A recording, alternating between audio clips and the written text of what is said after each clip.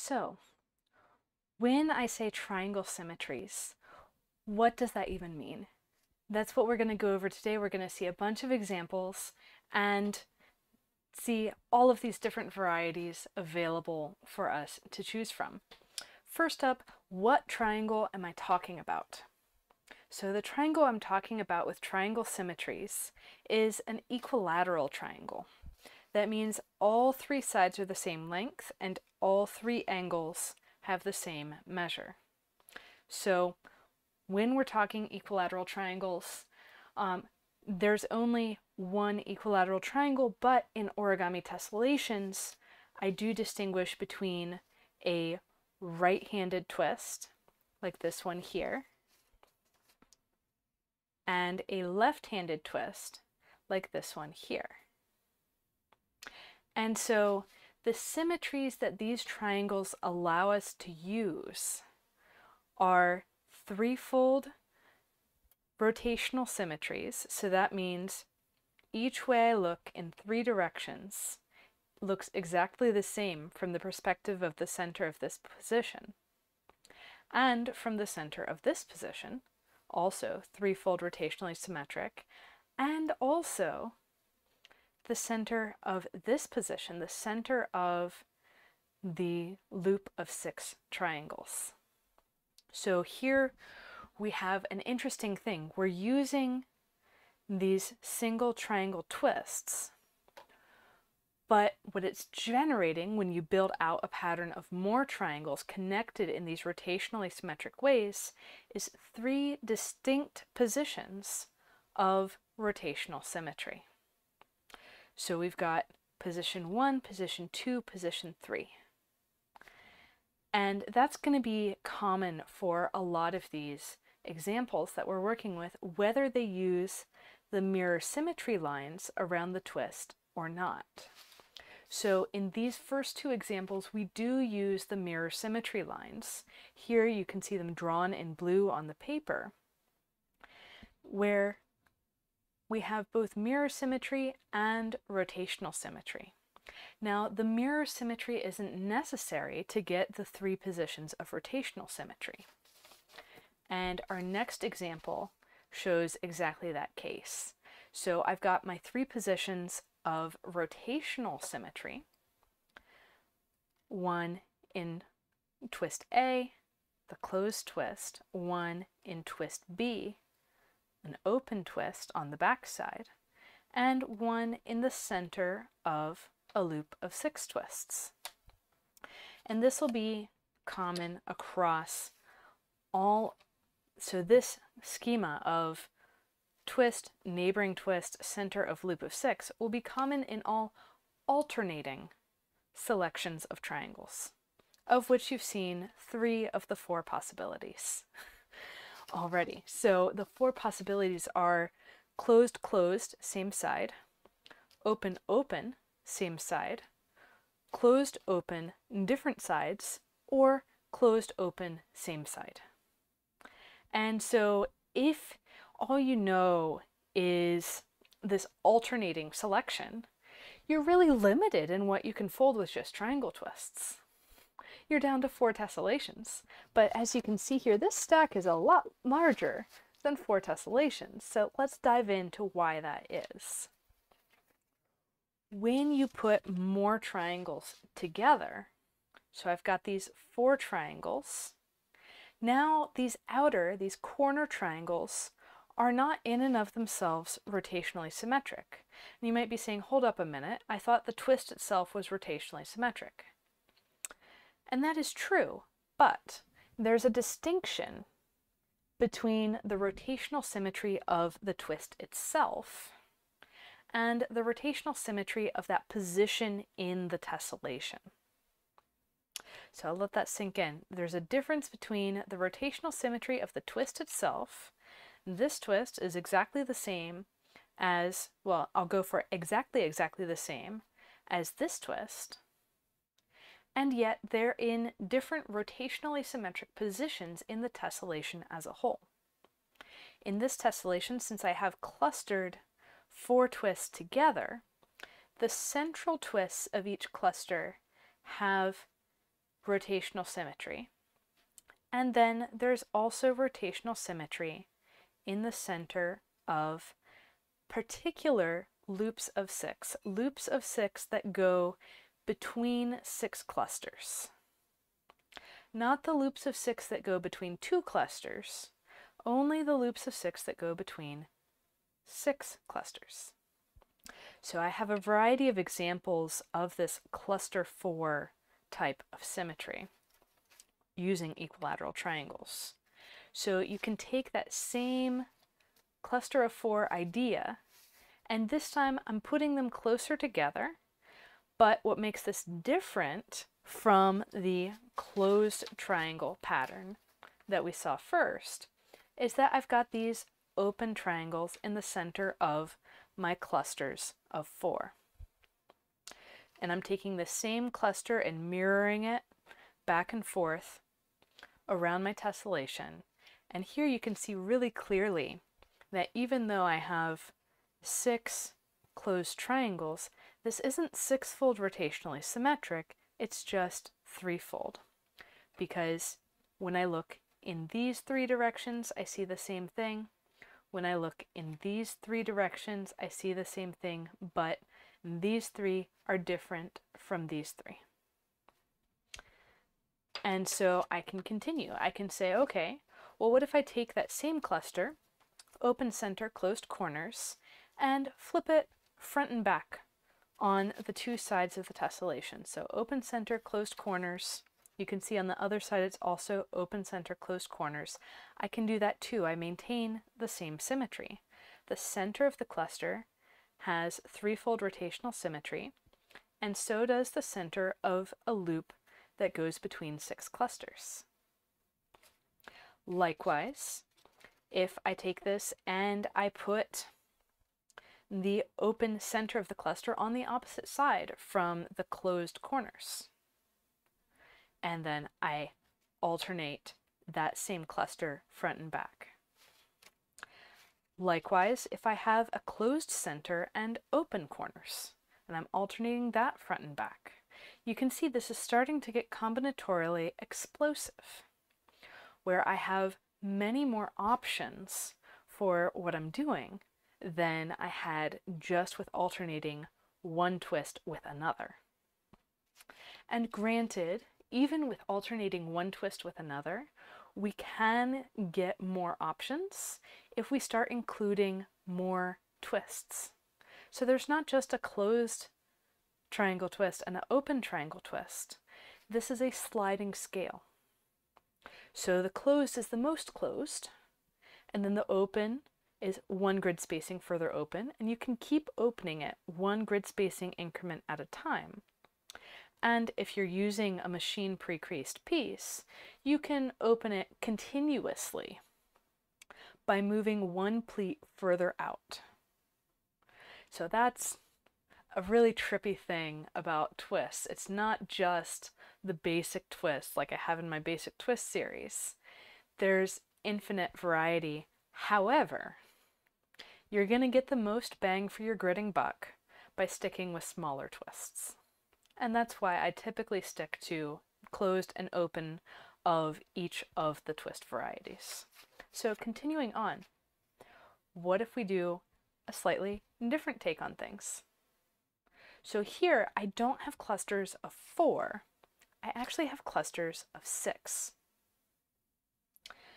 And so you can see I've got the alternation between the closed twist and the open twist around this loop of six. And I've got that same loop of six copied over here, over here, over here, over here. What makes this different from an alternating tessellation is that I've got extra space between these clusters. So inside of a cluster, my twists are corner to corner. So the corner of this open twist is exactly where the corner of the closed twist comes to. But when those two go to transition to the next clusters over, they have a gap of one spacing. And that changes the whole symmetry. So instead of any of these twists being in positions of threefold rotational symmetry, we have the center of the cluster as a symmetric position, threefold rotational symmetry. We have the center of this loop of six with the with more open space. And then we have the center of this loop of six with more closed space. So I've got three different positions of threefold rotational symmetry yet again, but in a different way, and none of them are centered in the twists. This is the power of triangle symmetries and recognizing that we need three positions of threefold rotational symmetry. So you can play with these different arrangements and say, okay, I've got threefold symmetry here, and I've got threefold symmetry here. Therefore, I need to form a triangle, an equilateral triangle, with my third position of threefold rotational symmetry. That's the power of what I'm talking about. There are other examples as well. What if we take these closed and open twists and we put them on alternating sides of the paper? And then we have these clusters of six and we move them further apart. Then there's other patterns that we can use. You don't just need to treat triangles as triangles, you can treat collections of other things as triangles. So in this case, I have a threefold rotational symmetry uh, position in the middle of my hexagon because it has three triangles connected to it and three hexagons. So this is really cool. I've basically taken this larger triangle, like we had the larger triangle for the clusters of four. And instead of putting four triangles in there, I put a hexagon and three triangles. I can also put three rhombi and three triangles. And sorry about the alarm, that happens sometimes here.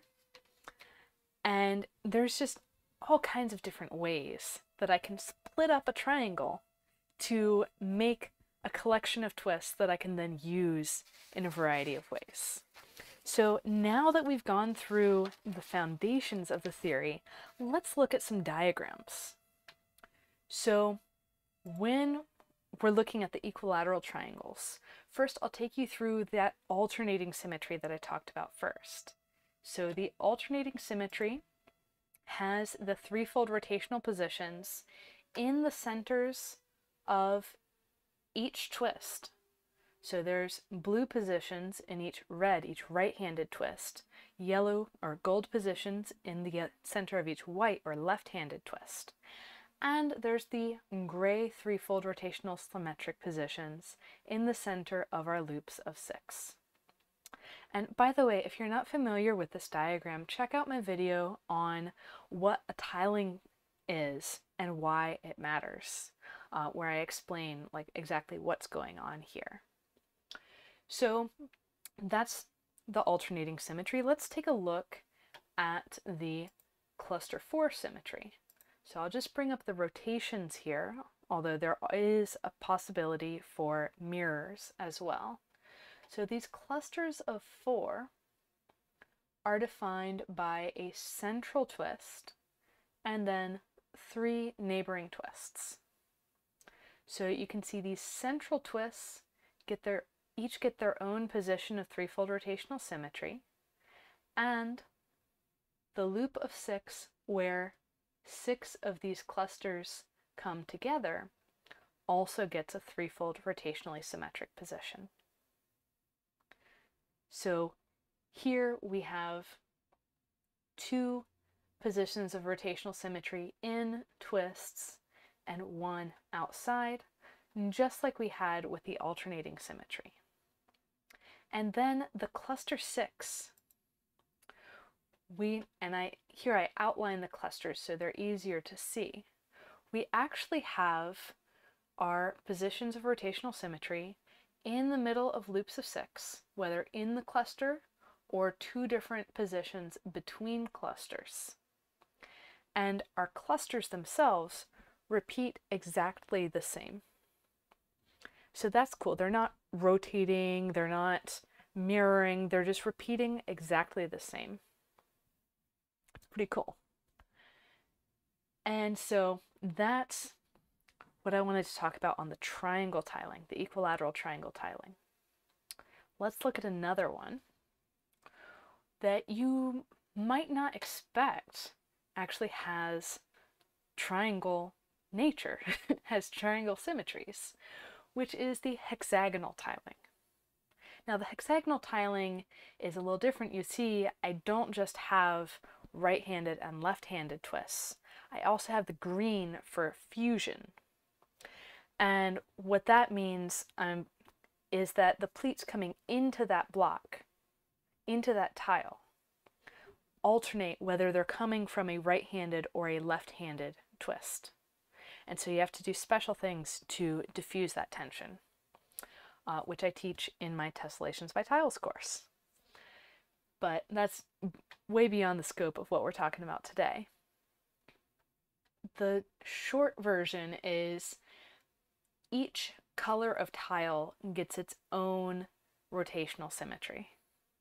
And we'll be going over some of these different patterns uh, when I talk some more about more examples, even more patterns. Like the, the patterns I've shown you so far are the tip of the iceberg for what's possible with triangle symmetries.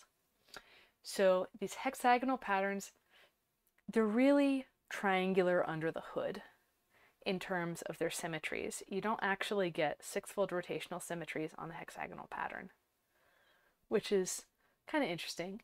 Um, and you can see that in the skeleton, which is a triangle grid. Um, interestingly, the skeleton of a triangle tiling is a hexagonal grid, but that's another fun fact, but not so relevant for the discussion of triangle symmetries today.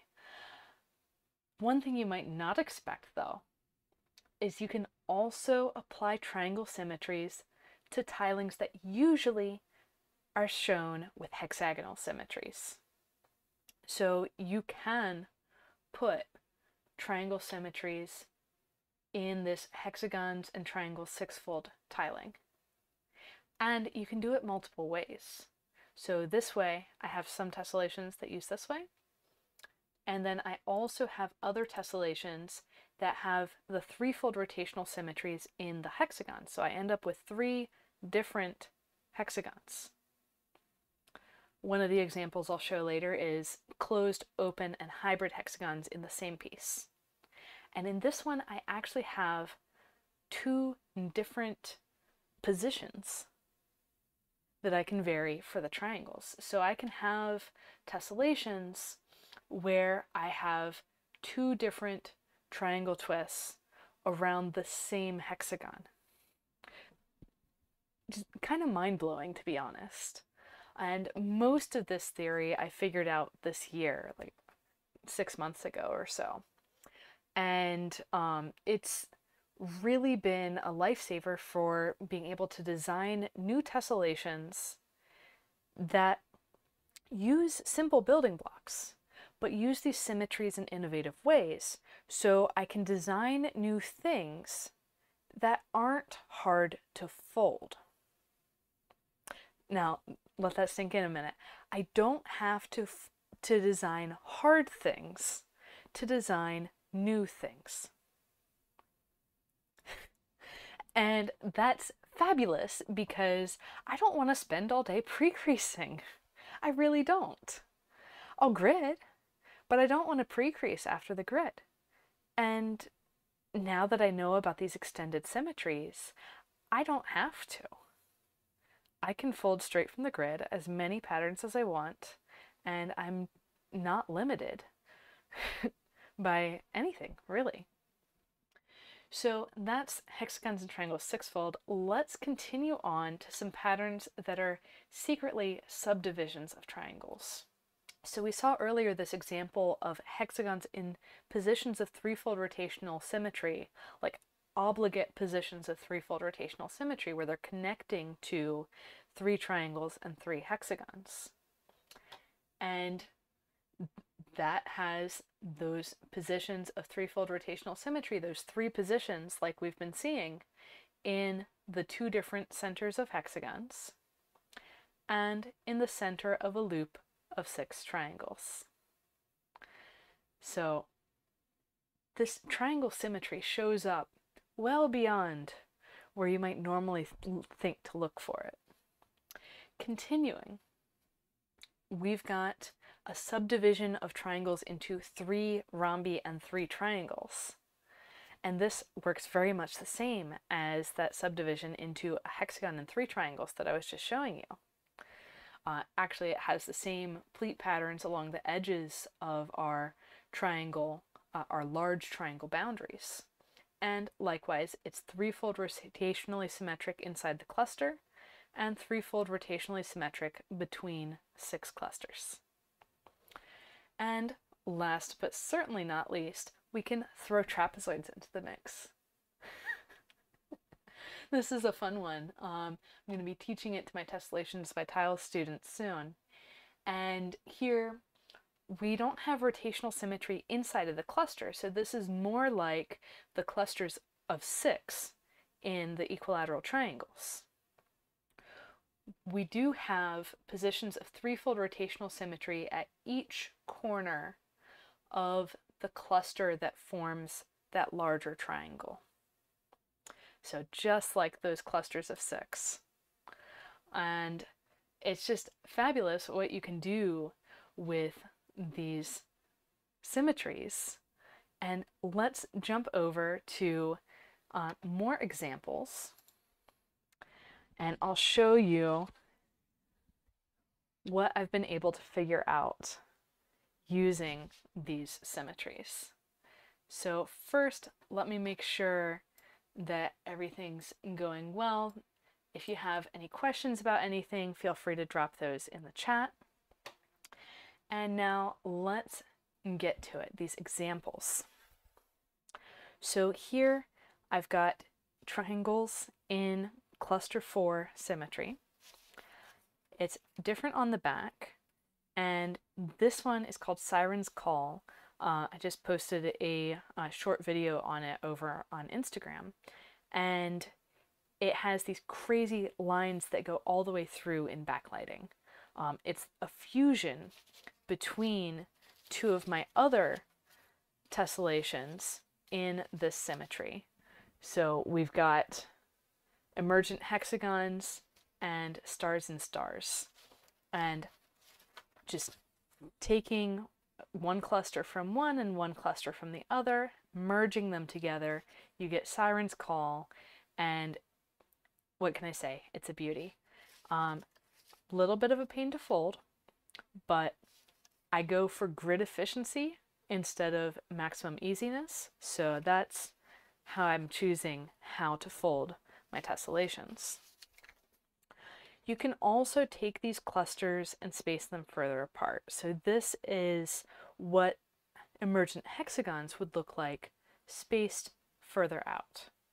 So you don't get the same backlighting effect, but it is still a fascinating tessellation, and this would be a great one to practice if you're looking to get a feel for these symmetries. Next up, I have a couple hexagon examples.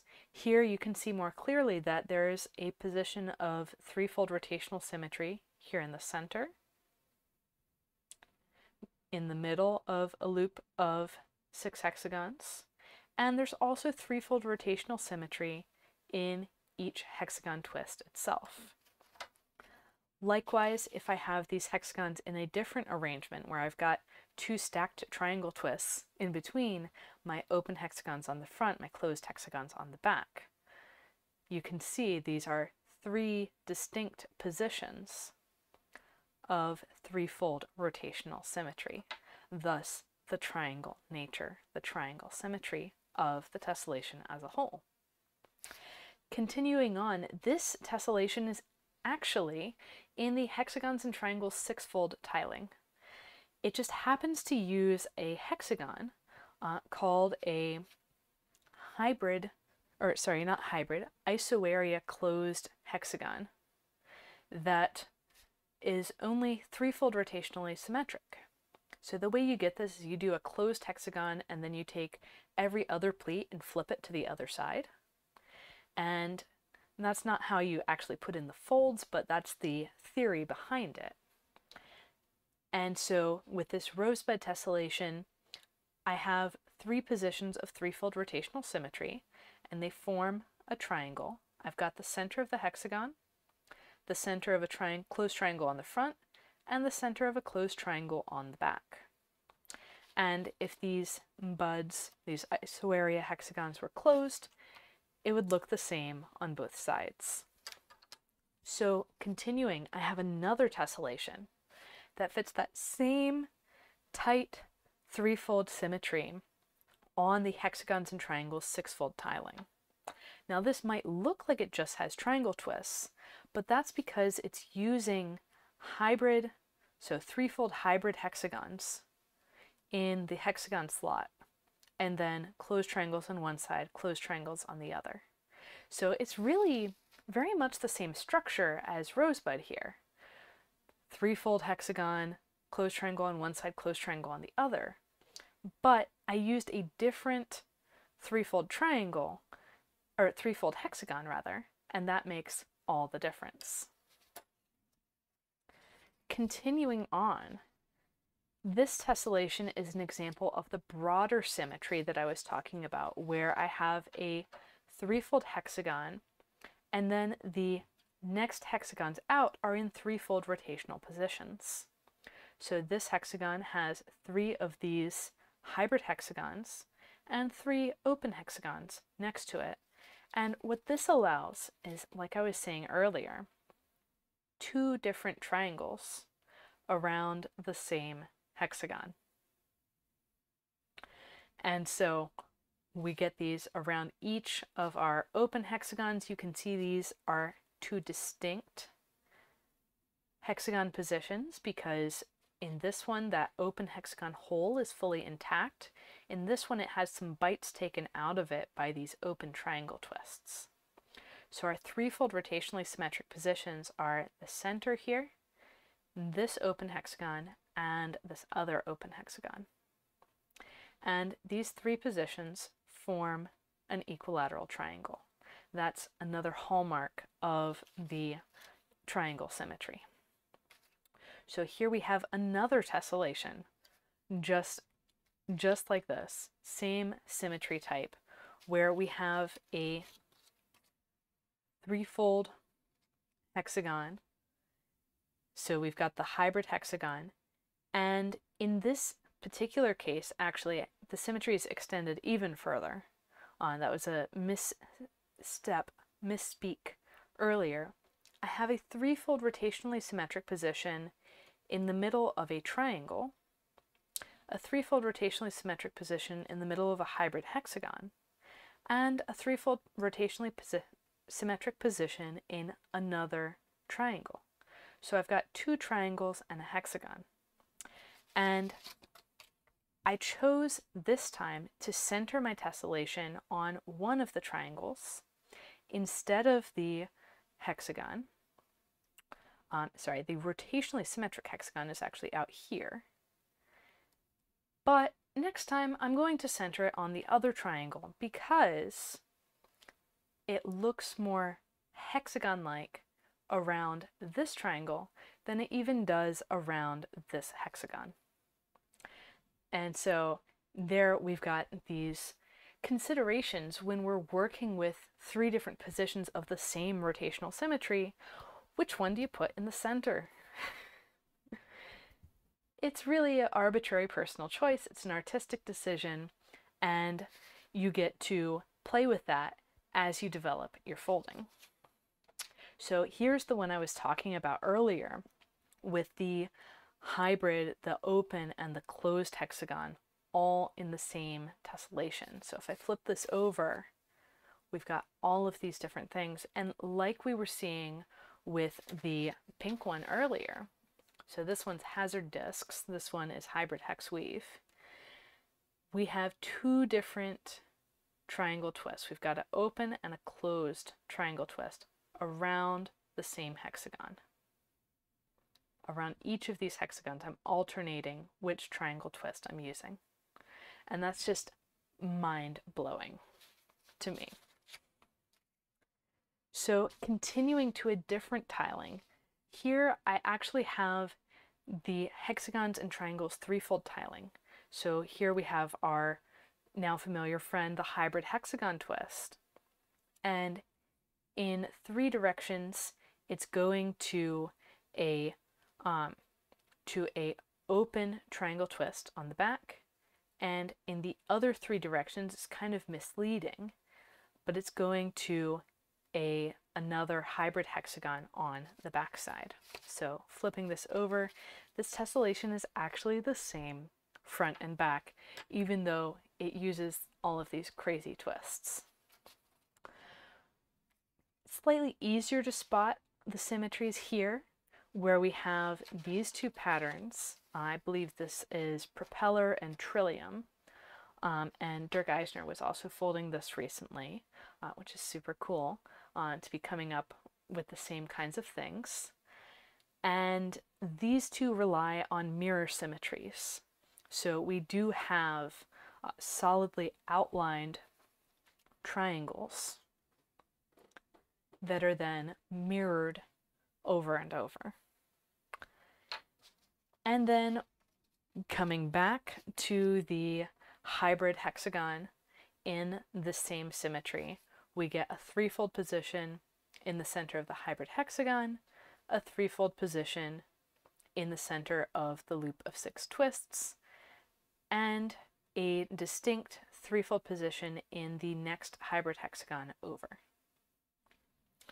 So continuing, moving rapidly, here I do use hybrid hexagons, but I also have these closed hexagons and I'm in still in the same tiling, the hexagons and triangles threefold, where I actually have the center of my tessellation positioned in the middle of a loop of six closed triangle twists, so three on the front, three on the back. I've got another position of threefold rotational symmetry in the center of this closed hexagon. And then this position here is my third threefold rotationally symmetric position, and it's that hybrid hexagon twist on the backside. Continuing, I can do this symmetry with the same clusters front and back. So here I have um, closed twists on the opposite side from an open hexagon, and I'm just repeating that front and back everywhere. I can also do that in an even denser format, which it gets pretty challenging to fold because your pleats start really stacking up on each other towards the edge, but I was still able to fold both of these straight from the grid. Nothing I've shown you today was pre-creased before it was collapsed. Everything was folded straight from the grid. And that is really the easiest way to fold tessellations. So continuing onwards, here we're jumping to the next tiling where we have these clusters of six twists, three rhombi, three triangles that form a loop of six with a threefold rotational symmetry point in the center. And then we get our threefold rotational symmetry in the center of two clusters, and the center of a larger loop between six clusters. And that pattern can be folded denser.